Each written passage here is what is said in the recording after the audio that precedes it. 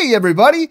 Epic Games is collaborating with WWE this summer. You'll be able to lay the smackdown in all your favorite free to play games, whether it be Rocket League, Fall Guys, or Fortnite.